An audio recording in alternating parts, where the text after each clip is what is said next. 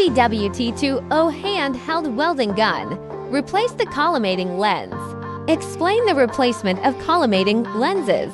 When replacing the lens, it needs to be replaced in a most-free workshop. There is no dust-free workshop, so the replacement can be done in a relatively clean office. First, remove the collimator assembly. You need to remove the screws on both sides of the gun, one on each side.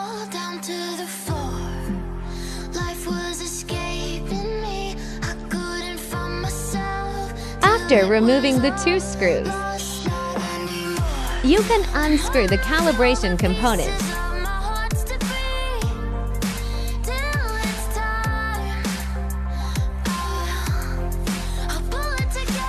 After unscrewing it, seal it with tape to prevent dust from entering the cavity.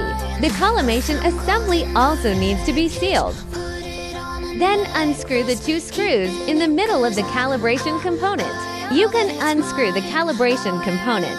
It should be noted that when replacing the lens, you need to wear dust-free finger gloves. If you don't have them, avoid touching the mirror with your fingers.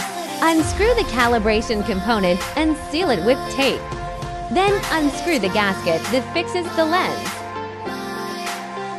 After unscrewing, remove the gasket that fixes the lens. Then take out the large spacer and the old lens.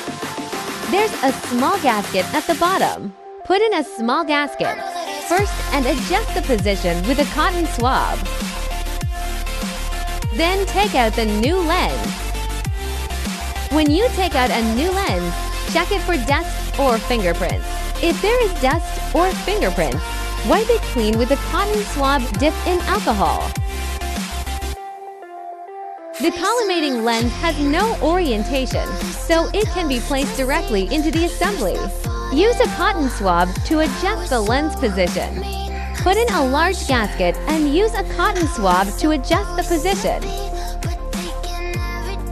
Finally, put in the spacer that fixes the lens. Then tighten the spacer that fixes the lens. Then you can tighten the calibration component again.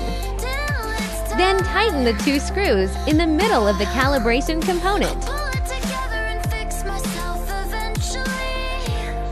And know it's mine. I found After tightening, you can install the support assembly back into the gun body.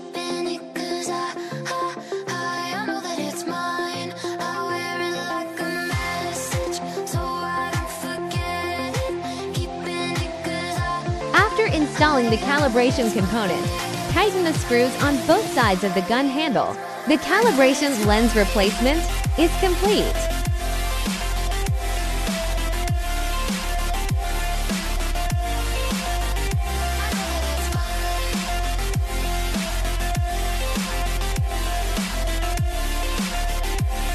Thank you for watching.